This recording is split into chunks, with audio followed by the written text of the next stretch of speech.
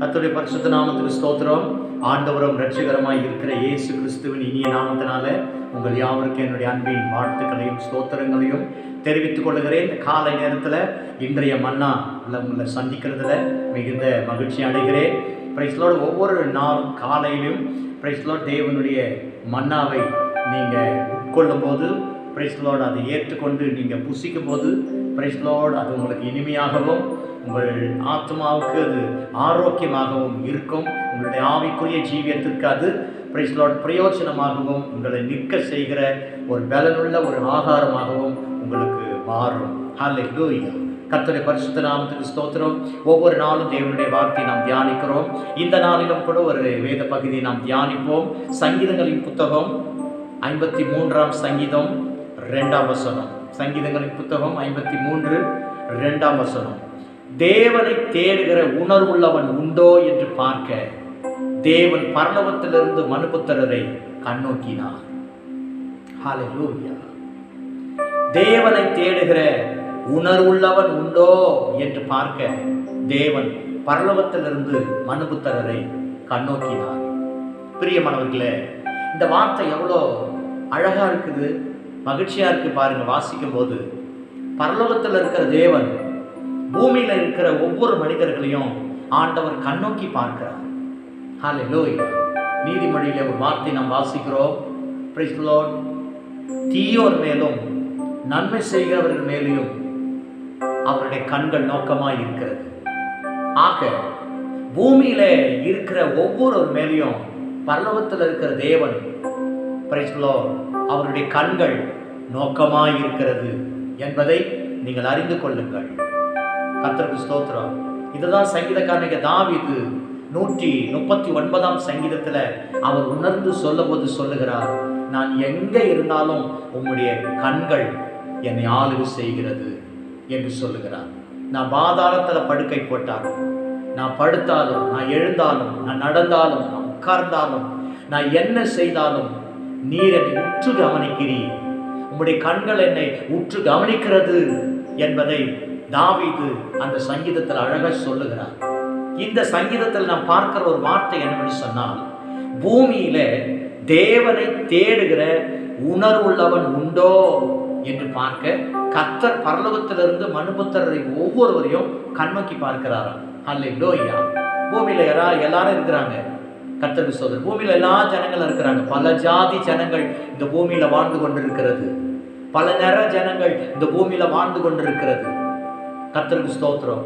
ஆனாலும் தேவனை தேடுகிற உணர்வுள்ளவன் உண்டோ? அது கூட தேவனை தேடுற காரியங்களில உணர்வோடு பிள்ளைகளை தேவன் எதிர்பார்க்கிறார். உணர்வுள்ள பிள்ளைகளை தேவன் எதிர்பார்க்கிறார். நாம் தேவனை உணர்வுள்ளவர்களாய் தேட வேண்டும் என்று அவர் விரும்புகிறார். ஹalleluya கர்த்தருடைய பரிசுத்த நாமத்துக்கு ஸ்தோத்திரம். பிரியமானவர்களே நம்ம ஊரில் எல்லாரையும் நம்ம பார்ப்போம் எல்லாத்தையும் நம்ம பார்ப்போம். நாய் சில நேரத்தில் குட்டி போடும். அந்த நாய் குட்டி போடும்போது அதுக்கு சொர்ணம் இருக்கா அதுக்கு உணர்வு இருக்கா அப்படின்னு பார்க்கறதுக்கோசம் அந்த நாய் குட்டியினுடைய காதை பிடிச்சி தூக்குவாங்க. நாய் குட்டியினுடைய காதை பிடிச்சி தூக்குவாங்க. பார்த்துக்கங்க. அது என்ன செய்யும் அப்படின்னா அப்படியே பயங்கரமாக கட்ட ஆரம்பிக்கும். அப்போ அதுக்குள்ள ஒரு உணர்வு இருக்குது அப்படின்னு சொல்லி தெரிஞ்சுக்கிறதுக்கோசம் இது மாதிரியான காரியங்களை செய்வாங்க. கத்தருக்கு ஸ்தோத்திரம். பெண்மணிகள் பிள்ளைகளை பெற்றெடுப்பாங்க. அந்த பிள்ளைகளை பெற்றெடுக்கும் போது அந்த பிள்ளைகள் நல்ல உணர்வுள்ள பிள்ளைகளாக இருக்குதா அப்படின்னு சொல்லி டாக்டருங்க செக் பண்ணும்போது எப்படி பார்ப்பாங்க தெரியுமா? தட்டி தட்டி கில்லு கில்லு உணர்வு இருக்கா அப்படின்னு. குழந்தை அழுதா அப்படின்னு சொல்லி அவங்க பார்க்கறதுக்கோசம் பிறந்த குழந்தைய செக் பண்ணுவாங்க. உணர்வு இருக்குது அந்த பிள்ளைக்கு. பிரைஸ் அப்ப இந்த பூமியில இருக்கிற ஒவ்வொன்றுக்கும் உணர்வுகள் இருக்கான்னு ஒவ்வொருத்தரும் ஒவ்வொரு விதமா செக் பண்றாங்க. ஆனா தேவனுடைய பிள்ளைகள் என்னை தேடுகிறார்களா என்பதை தேவன் பரலோகத்திலிருந்து அவர் உற்று கவனிக்கிறார். இந்த தேடுற பிள்ளைங்க கூட எப்படி தேடணும்னு ஆண்டவர் எதிர்பார்க்கிறார் தெரியுங்களா? உணர்வுள்ளவன் உண்டோ?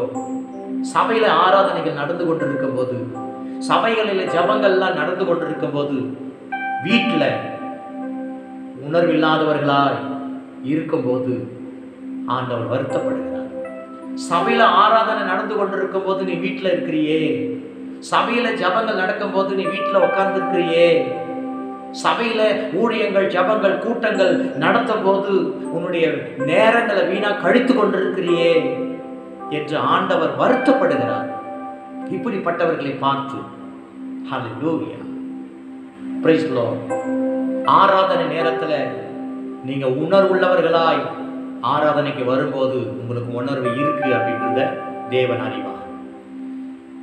சபையில வந்து நீங்க ஜெபிக்கும் போது உபவாச ஜபத்தில் கலந்து கொள்ளும் போது மற்ற ஜபங்கள்லாம் நீங்க கலந்து கொள்ளும் போது உங்களுக்கு உணர்வு இருக்கு உணர்வோடு தான் என்னை தேடுறீங்க அப்படின்னு சொல்லி தேவன் அறிந்து கொள்ளுகிறார். ஹalleluya கர்த்தருடைய பரிசுத்த நாமத்துக்கு ஸ்தோத்திரம். ஒவ்வொருவருக்கும் எவ்வளவு சம்பாத்தியத்தை ஆண்டவர் தருகிறார் அந்த சம்பாத்தியத்திலிருந்து ஒரு பங்கு தேவனுக்கு பிரயோஜனமாய் கொடுக்கணும் என்கிறத உணர்ந்து நீ ஆண்டவருக்கு கொடு கொடுப்பாயே ஆனால் நீ உணர்வுள்ளவன் என்பதை தேவன் ஏற்றுக்கொள்ளுகிறார். ஹalleluya பிரியமானவர்களே தேவனை பூமியில் இருக்கிற ஒவ்வொருவரும் உணர்வுள்ள இருதயத்தோடு நீங்க தேவனை துதிக்கிறீங்களா? தேடுறீங்களா? அப்படின்றத பார்க்க தேவன் பரலோகத்திலிருந்து மனுபுத்திரரை கண்ணோக்குகிறார் இந்த பூமியில இருக்கிற ஜனங்களுடைய வேதனைகளை பார்க்கிறார் கஷ்டங்களை பார்க்கிறார் கண்ணீர் பார்க்கிறார் கதறலை பார்க்கிறார். ஹalleluya. இஸ்ரவேலருடைய கூக்குரலை ஆண்டவர் பரலோகத்திலிருந்து கண்ணோக்கினார் என்று நாம் வேதத்துல வாசிக்கிறோம். இப்ப எல்லாத்தையும் பார்க்கிற ஆண்டவர் நீ தேவனை தேடுகிற காரியங்களில் உனக்கு உணர்வு இருக்கா என்பதை ஆண்டவர் உற்று கவனிக்கிறார். பிரியமானவர்களே ஹலோய் அடுத்த வசனத்தில் வாசிக்கும் போது நன்மை செய்கிறவன் இல்லை. ஹலோ தேவனை தொழுது கொள்ளுகிறவன் இல்லை. ரெண்டாம் வசனம் மூன்றாம் வசனம் நாலாம் வசனம். இந்த மூன்று வசனங்கள்ல மூன்று காரியங்கள் சொல்லப்படுகிறது. வேத பகுதியில். என்னை தேடுகிறவன் உணர்வோடு இல்லையே. நன்மை செய்கிறவன் இல்லையே. என்னை தொழுது கொள்ளுகிறவன் இல்லையே. ஹalleluya கத்தருக்கு ஸ்தோத்திரம். என்னை தேடுகிறவன் இல்லை நன்மை செய்கிறவன் இல்லை என்னை தொழுது கொள்ளுகிறவன் இல்லை என்று ஒரு அங்கலாய்ப்போடு இந்த காலை நேரத்தில் உங்களோட பேசி கொண்டிருக்கிறார். பிரியமானவர்களே உணர்வோடு தேவனை தேடுங்க. உணர்வோடு தேவ நாமத்தை மகிமைப்படுத்துங்க. உணர்வோடு தேவ நாமத்தை நோக்கி கூப்பிடுங்க நன்மை செய்யுங்க அவரை தொழுது கொள்ளுங்க. கர்த்தர் உங்களை நிறைவாய் ஆசீர்வதிப்பார் வசனத்தில் வசனத்துல வாசிக்கிறோம் தேவனை தேடுகிற உணர்வுள்ளவன் உண்டோ? இல்லையே உணர்வுள்ளவன் இல்லையே. மூன்றாவது வசனத்துல வாசிக்கிறோம் நன்மை செய்கிறவன் இல்லையே. நாலாவது வசனத்துல வாசிக்கிறோம் தேவனை தொழுது கொள்ளுகிறவன் இல்லையே. அப்பா அவருடைய இருதயத்தையும் அவருடைய அங்கலாய்ப்பையும் அவருடைய எதிர்பார்ப்பையும் நிறைவேற்றுகிறவர் இந்த காலை நேரத்தில் நீங்கள் இருக்கிறீங்களா அப்படின்றத உங்களை உற்று கவனிக்கிறார். ஹாலை உணர்வோடு கத்தரை தேடுங்க. உங்களால் முடிஞ்ச மட்டும் கூடுமான அளவுக்கு நன்மை செய்யுங்க. தேவனை தொழுது கொள்ளுங்க. தேவன் நிறைவாக உங்களை ஆசீர்வதிப்பார். ஜெபிப்போம். நல்ல தேவனே இந்த ஆசீர்வதிக்கப்பட்ட நல்ல கால நேரத்துக்காக நன்றி செலுத்துகிறோம் ஆண்டவரே. கடந்த இரவு முழுவதும் எங்களை கண்ணின் மணி போல பாதுகாத்தீங்க. நன்றி. இந்த கால காலவழியை காண செய்த கிருபைக்காய் ஸ்தோத்திரம். நாங்கள் கேட்ட வார்த்தையின்படி உங்க எதிர்பார்ப்பை நாங்கள் நிறைவேற்றுகிற பிள்ளைகளாய் மாற்றுங்க. அண்டவரே ஸ்தோத்திரம். உணர்வு இல்லை நன்மை செய்கிறவன் இல்லை தேவனை தொழுது கொள்ளுகிறவன் இல்லை என்பதை நாங்கள் பார்த்தோம். எங்களுக்கு அந்த உணர்வை தாரும் நன்மை செய்கிற இருதயத்தை தாரும் உண்மை தொழுது கொள்ளுகிற குணத்தை எங்களுக்கு தாரும். அண்டவரே இவைகளை நாங்கள் செய்து உண்மை சந்தோஷப்படுத்துகிறவர்களை எங்களை மாற்றுங்க. ஆசீர் இயேசுவின் நாமத்துக்கு தான் ஆமே காட் பிளஸ் யூ கர்த்தரை தேடுங்க. ஆண்டவர் சந்தோஷப்படுத்துங்க. உங்கள் மேலே ஆண்டவர் சந்தோஷமாக இருப்பார் ப்ரைஸ் லார்ட்